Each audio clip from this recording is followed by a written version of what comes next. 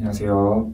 저는 2020년 육군행정직 9급 군무원에 최종 합격한 28살 문정현이라고 합니다. 저는 작년 추석 때부터 공무원 시험 준비를 시작해서 올해 필기 시험이었던 7월까지 짧다면 짧다고 할 수 있는 약 10개월 만에 공무원 시험에 합격하게 되었습니다. 저는 필기 시험에서도 합격하지 못할 것이라고 생각해서 필기 합격 결과에도 정말 기뻤었고 면접 시험에서도 대답을 잘 못한 것들이 있어서 합격하지 못할 것이라고 생각했었는데 최종 합격자 공고에 저의 수험 번호가 올라 있는 것을 보고 정말 뜰 듯이 기뻤었던 경험이 있습니다. 또 저뿐만 아니라 저의 부모님, 주변 지인들이 정말 진심으로 축하해주고 기뻐해줘서 더 기뻤었던 그런 기억이 있습니다. 제가 군무원에 지원하게 된 이유는 대학교 졸업 이후 취업이 잘 되지 않고 있어서 고민을 하고 있다가 현직 군인인 매형께서 근무 환경도 괜찮고 또 안정적이라면서 군무원을 추천해 주신 적이 있었습니다. 많이 고민해 본 결과 원리 원칙을 중시하고 또 조직적이라는 군대의 특성이 저희 성격과 잘 맞을 것 같아서 육군행정직 군무원 시험을 준비하게 되었습니다. 저는 국어, 행정학, 행정법 세 과목 모두 휘발성이 높다고 생각해서 하루에 시간을 나눠서 세 과목을 다 보는 방향으로 공부했었습니다. 공무원 국어에 있어서 기초라고 할 수 있는 어법 파트는 문장이나 지문을 보고서도 바로 어느 부분이 틀렸는지 알아차릴 수 있도록 기초를 튼튼하게 다져놨었고 제 개인적인 생각으로는 공무원 국어에 있어서 어휘 파트가 굉장히 변별력 있게 출제된다고 생각해서 버스를 타고 이동할 때 식사 시간 등을 이용해서 어휘 파트를 굉장히 열심히 공부했었습니다.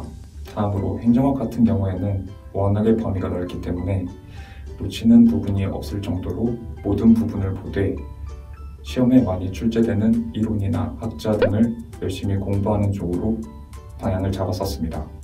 마지막으로 행정법의 경우에는 처음에는 어려울 수 있는 기본 개념들을 여러 번 반복 학습하여 개념들을 이해할 수 있는 쪽으로 노력하였고 그런 개념들을 이해한 후에는 최신 공무원 행정법 시험에서 비중이 높아지고 있는 판례나 최신 판례 등을 여러 번 반복 학습하는 쪽으로 공부했었습니다. 저는 와우에듀 국어 송승호 교수님, 행정학 심철수 교수님, 행정법 이영학 교수님 세 분 모두 정말 저에게 잘 맞고 추천드리고 싶지만 제가 가장 만족했고 추천드리고 싶은 교수님은 이영학 교수님의 행정법 강의였습니다. 그 이후로는 모든 수강생들에게 어려울 수 있는 기본 개념들을 tree를 이용해서 쉽게 이해할 수 있도록 도와주셨고 또 판례 등을 표로 정리해 주셔서 정말 이해하기 쉬웠습니다. 또 최근 많이 출제되고 있는 최신 판례들은 특강으로 또 보충해 주셔서 정말 큰 도움이 됐었다고 말씀드릴 수 있습니다.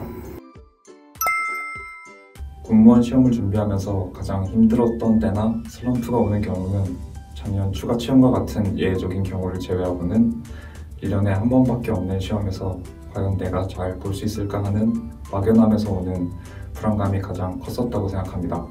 저는 그럴 때마다 아 이럴 때 한자라도 더 공부하자 이런 생각보다는 제가 정말 하고 싶은 것이나 휴식을 통해서 다음날부터 다시 열심히 공부할 수 있는 힘을 만들 수 있도록 노력했었습니다. 또 저는 와우에듀의 시스템과 와우에듀의 교수님들을 믿고 있었기 때문에 그런 걱정들을 더 쉽게 떨쳐버릴 수 있었습니다. 올해 공무원 시험도 역대급이라는 얘기가 나올 정도로 많은 인원을 채용했었지만 내년 공무원 시험에 있어서도 올해만큼 많은 인원들을 채용하는 것으로 알고 있습니다.